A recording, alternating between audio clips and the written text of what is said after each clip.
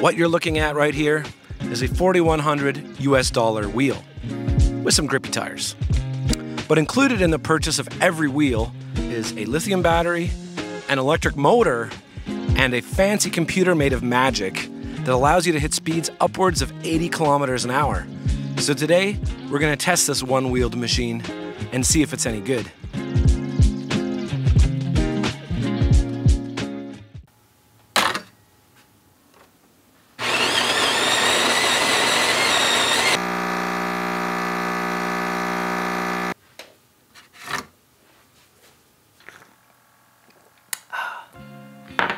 Now this video is not sponsored in any way, but I would still like to mention the kind folks at eevees.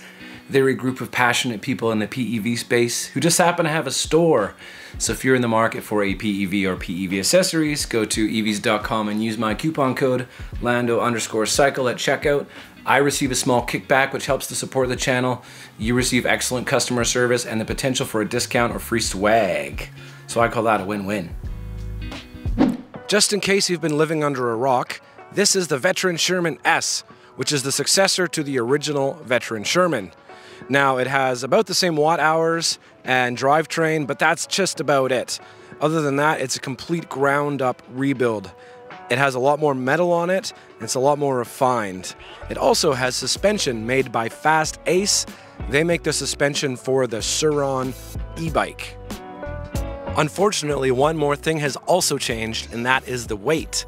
It's gone up over 20 pounds, and I can say that you can absolutely feel the extra weight. I've been riding the S22 a lot, and getting off this and jumping onto the S22, it feels like a little toy. So yeah, the weight is there on the Veteran Sherman S. Price comparison for this wheel is around the InMotion V13 EX30 Master Pro kind of range, which is very expensive. In fact, you can buy brand new small motorcycles for that price. So this is definitely something you want to heavily consider before you purchase. I definitely recommend going to eevees and touching it and feeling it for yourself. One thing I've been using non-stop is the kickstand. See? It doesn't fall over. The V11 kickstand, if you look at it wrong, it will fall over. You could probably even blow it over. See, this one you can't do that. So I like this kickstand. I think everyone should have a kickstand like this. Now Leaperkim loves to make Casio style displays for some reason, which is a bit odd seeing how expensive this wheel is. I wish it was like a color TFT display, but hey, this is what we get, and it actually does work well. I also like that it's up uh, towards the front of the wheel because when you're sitting, you can actually see everything, and you don't have to look way down when you're standing like on the S22.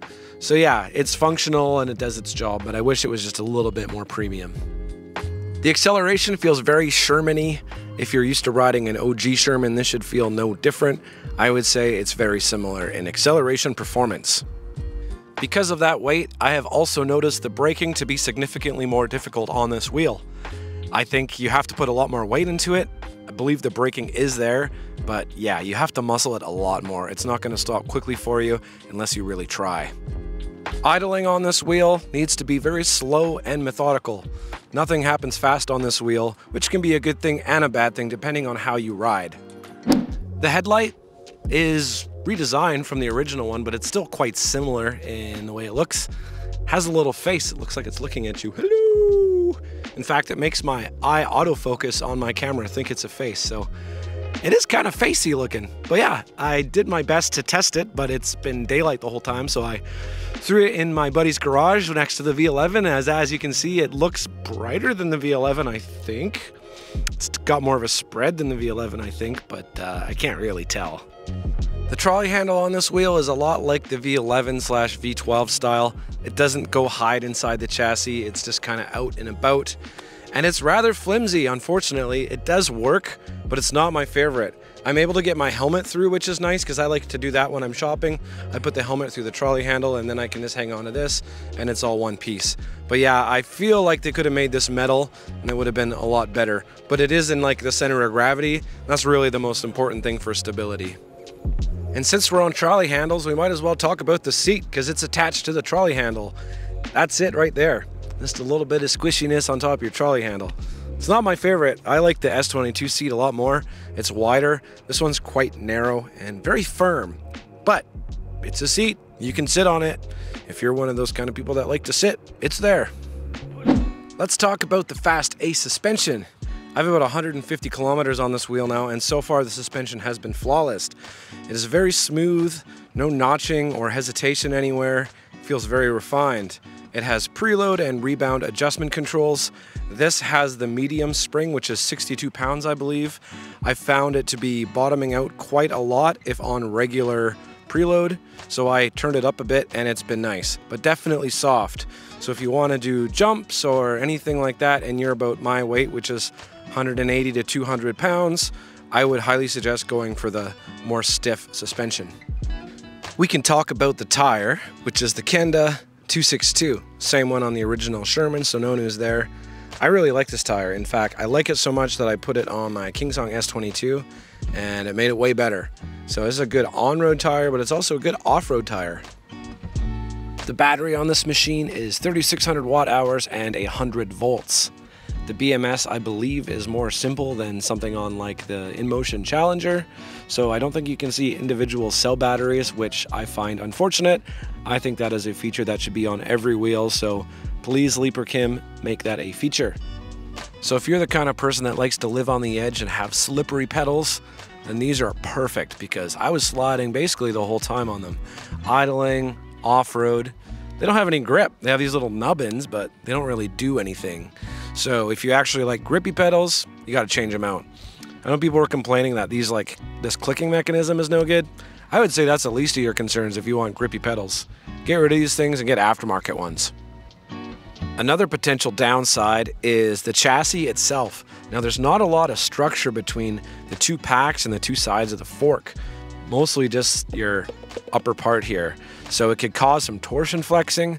Now I'm not sure if that's actually going to cause problems, but I thought I would mention it. There are two charge ports on this wheel, which are located on the very front right here. I think you'd have to probably put the charger through the handle. It's a little bit awkward, but not nearly as awkward as the S22 one. And I believe it comes with a 5 amp charger. But yeah, if you get two of them, you can charge it twice as fast. I'm not sure the charge time, but uh, I'm sure you could charge this thing in under three hours if you wanted to.